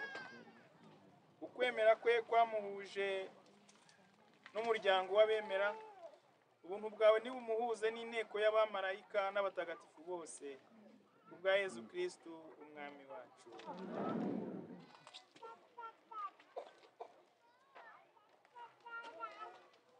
Korali igiye kuba idufasha hanyuma noneho n'abadufasha kugira ngo dushyire ikiriho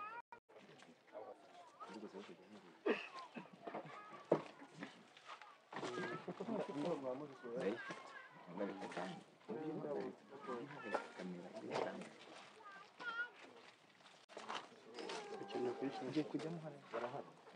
Cyane bari aho ngaho ihute ko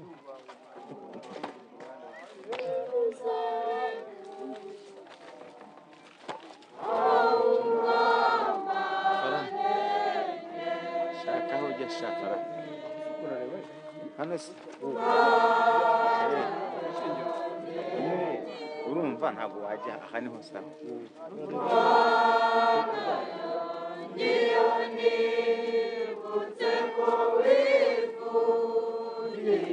wajya aha ni ho sawa mujye hepfo mujye hepfo mujye hepfo papa gerayo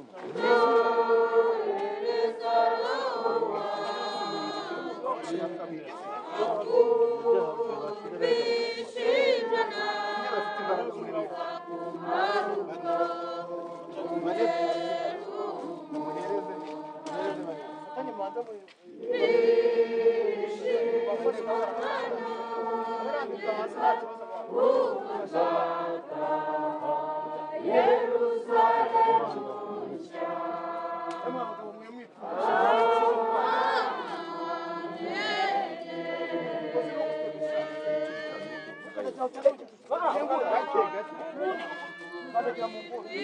gira inyuma wowe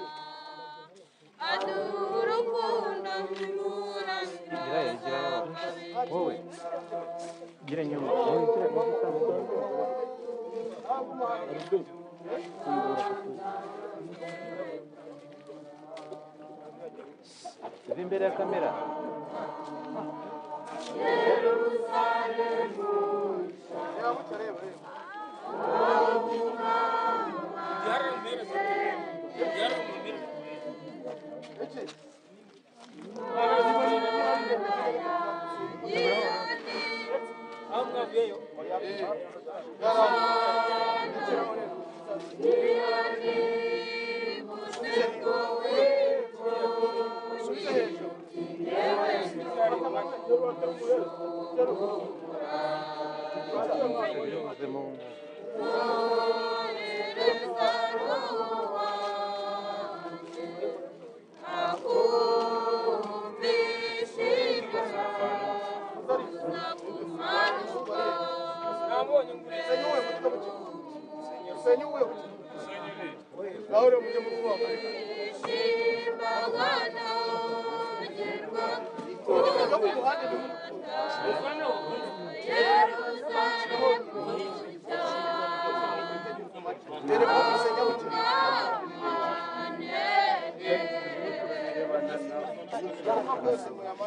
Nimwoherereze nawe kujya ugiye guterura komeza mwanya wanjye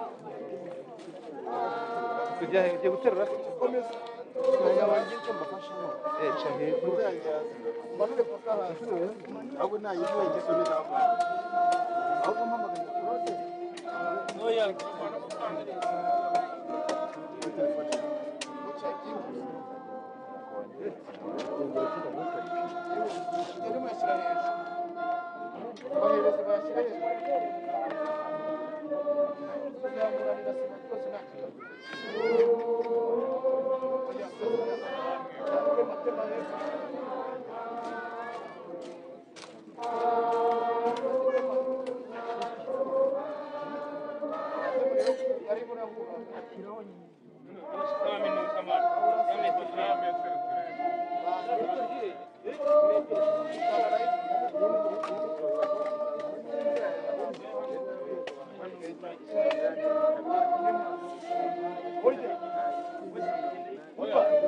Gari, segundo Gari.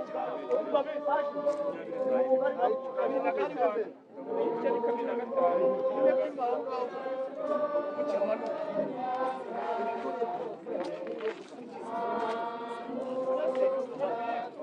Ife.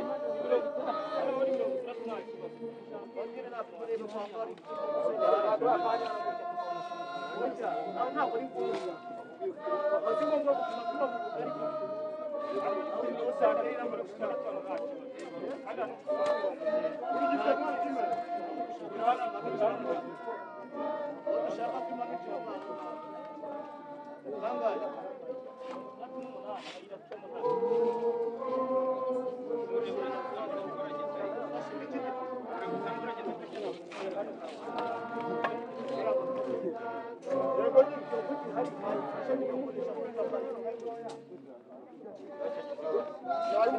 Angifuni. Angifuni. Hey. Vana sinonga. Vana sinonga.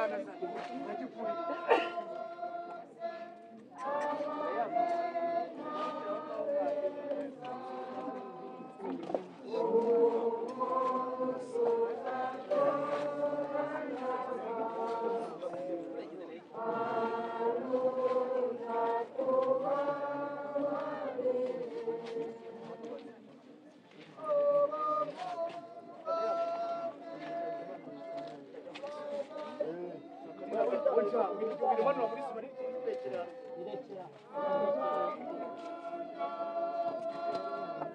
Ntabwo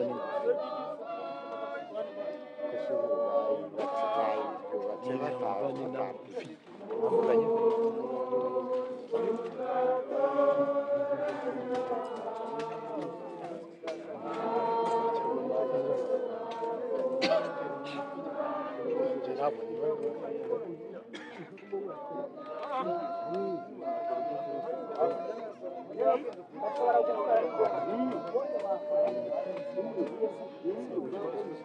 kujya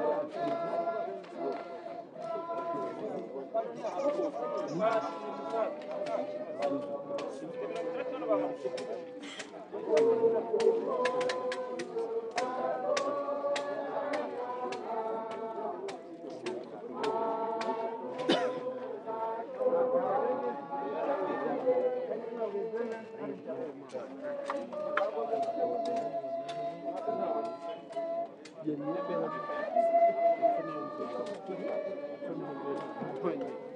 rwanda.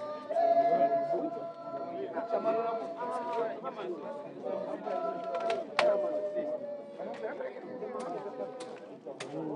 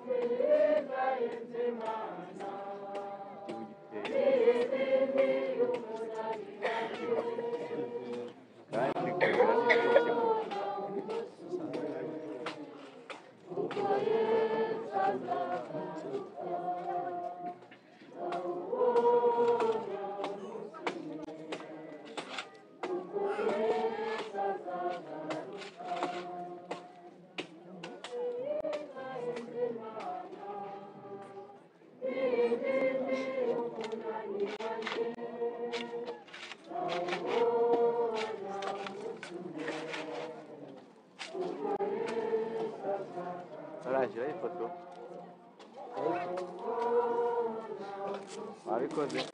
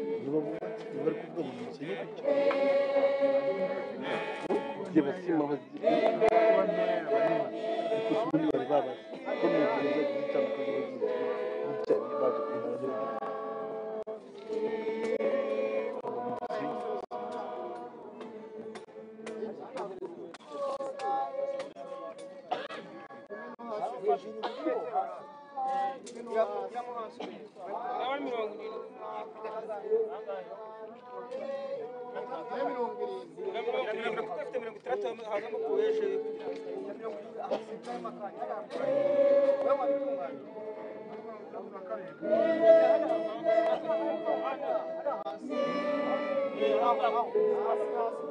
igitafari aho aho a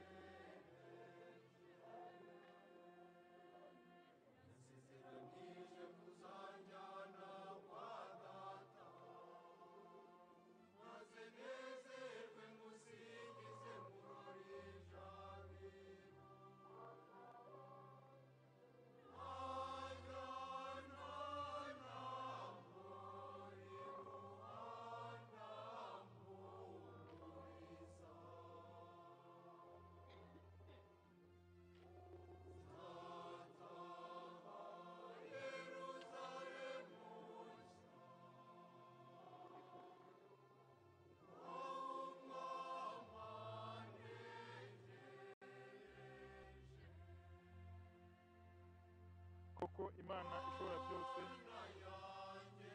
Yashatse kwihamagarira umubyeyi wacu nyirahabimana agata tugiye kubika umubiri we mu gitaka kugira ngo usubire aho waturutse kandi kubera ko kristo ari uwa mbere mu bapfuye akaba ari nawe uzaha imibiri yacu gusa n'uwe wazutse.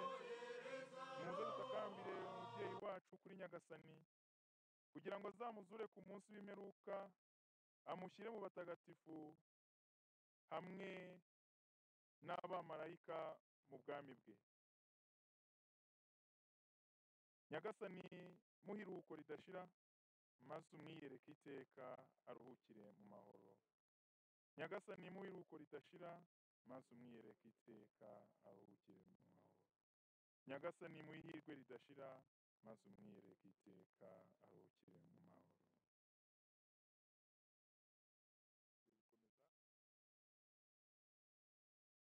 cyane abadufasha babona aho bakorera namwe muhagaze kuri sima muyive mwigire inyuma mwigire inyuma inyuma rwose hano abo bose bigire bigire inyuma muveho mugire amaso n'umunsi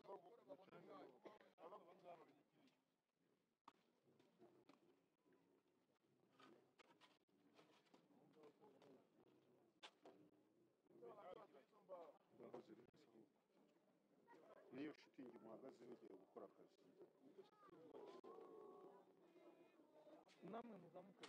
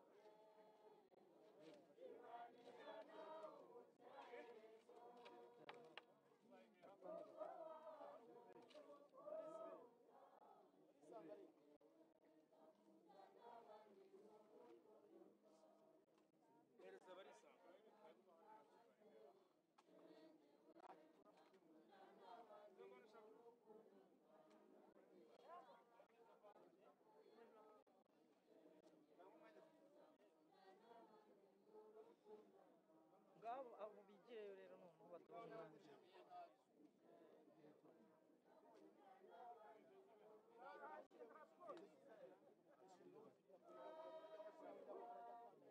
najye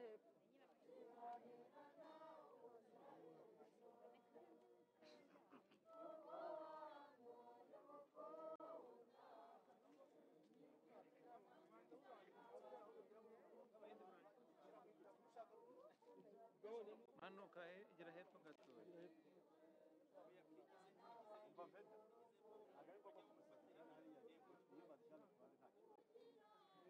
kugira ngo bagende bayikandagiyeho kandi itari yuma bazishyire ku muhanda hanyuma igerayo n'uwo hepfo yegereye n'uwo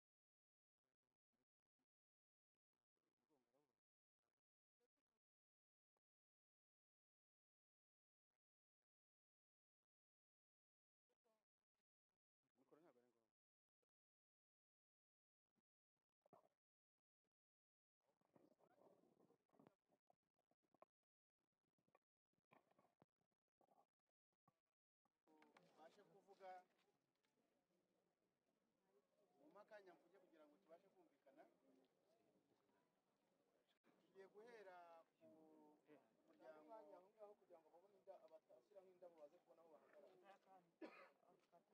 Turajya duhamagara famiye turajya duhamagara umuryango hanyuma wohereza ururabo. Umuryango wifitiye wifitiye ururabo rwawo wizaniye ubwo uraza uruzanye ariko abandi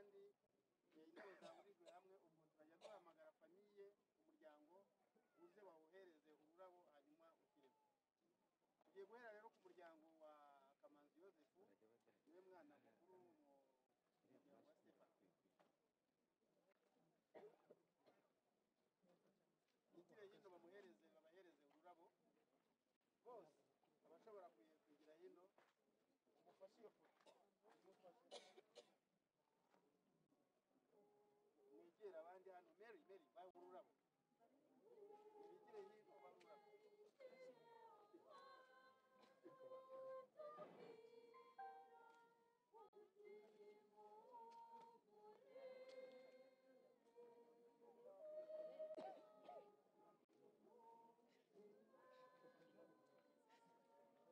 ebigire.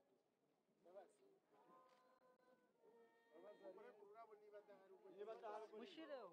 也不洗的我操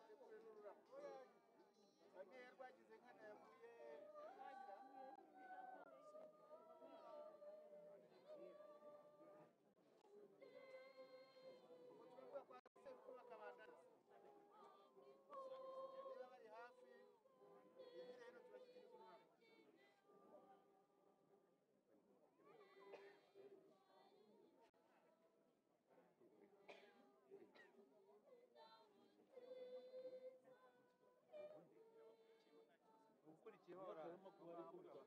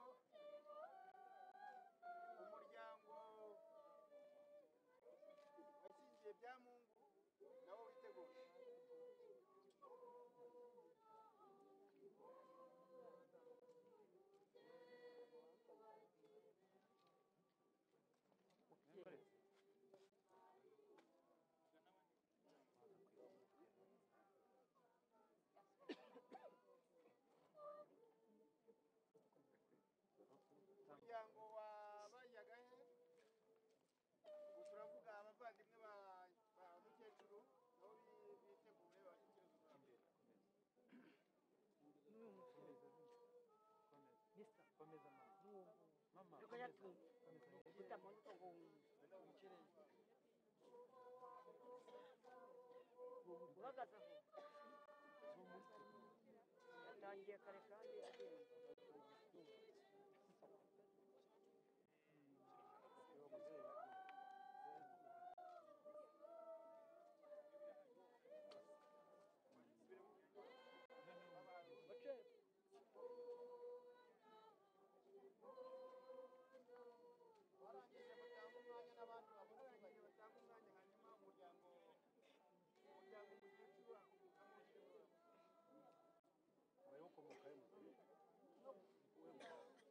manipulation.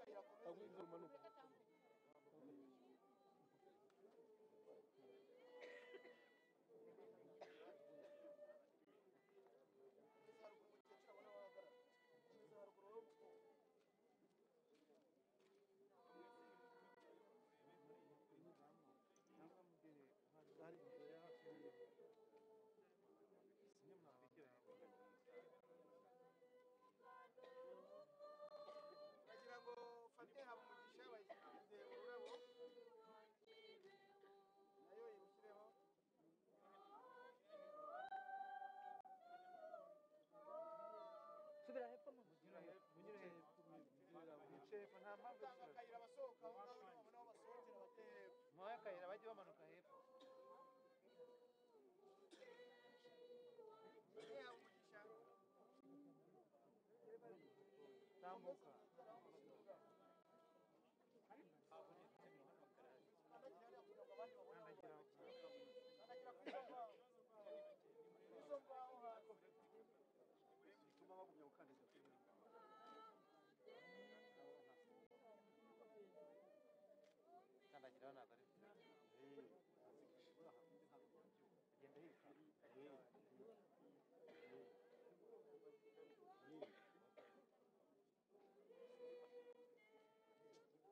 Can I go to seven?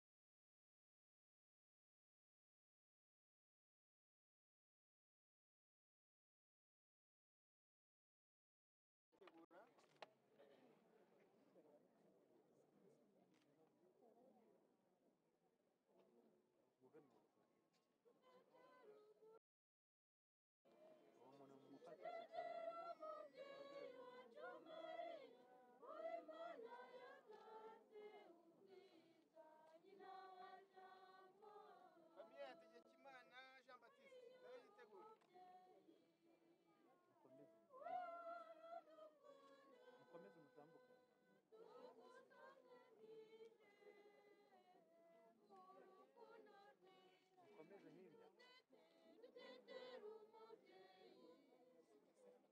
Thank you.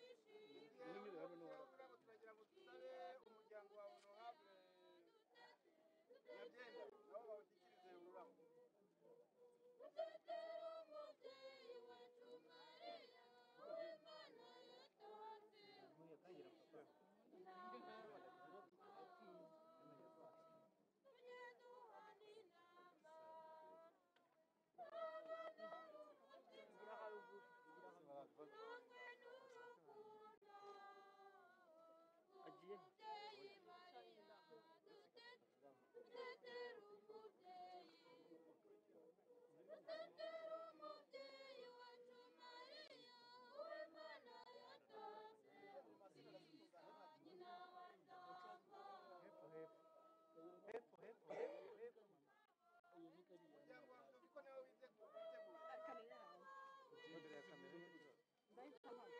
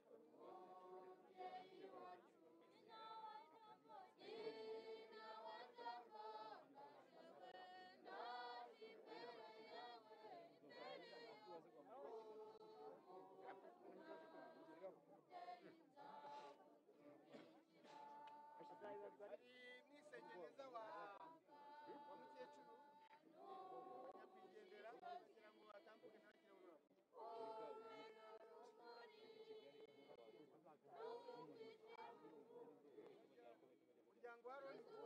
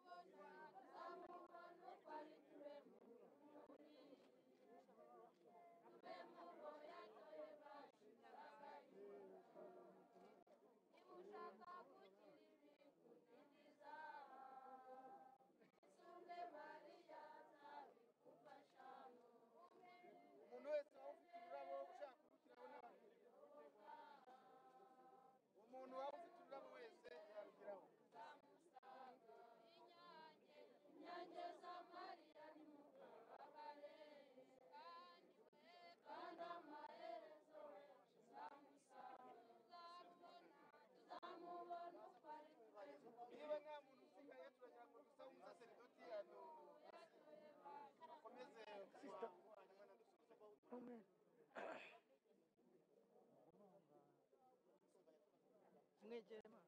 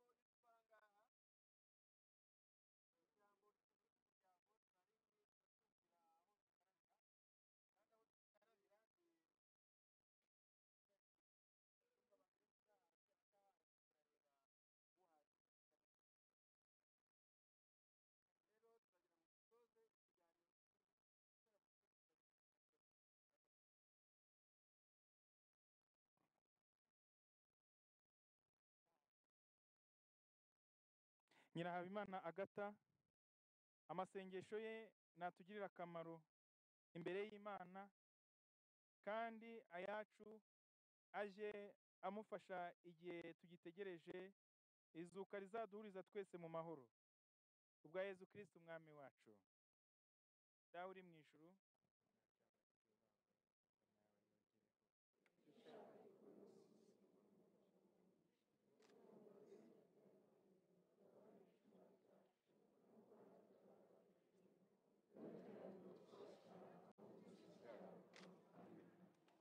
ndakuramutsa mariya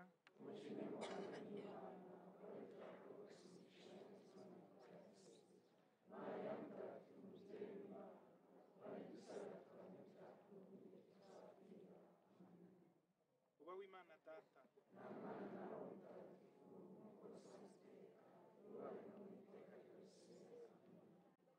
bikira mariya nyirimpuhwe wibuke ko nageze mu mubabaro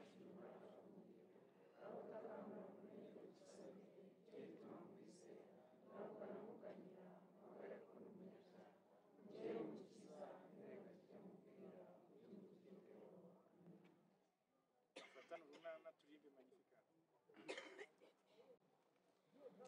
roho yanjye irasingiza nyagasani umutima wanjye Ubasha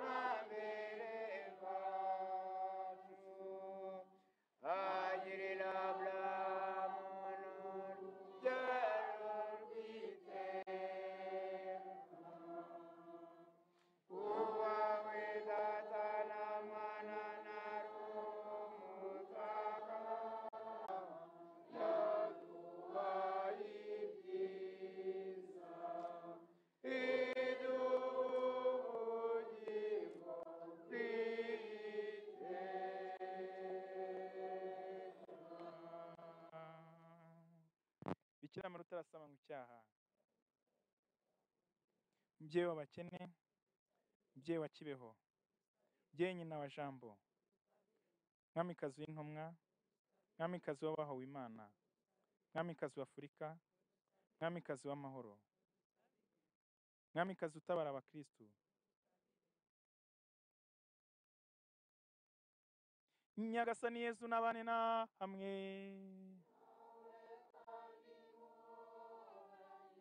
Ushobora byose n'abaha umugisha imana data na mwana na roho mutagatifu nimujyana amahoro ya kristu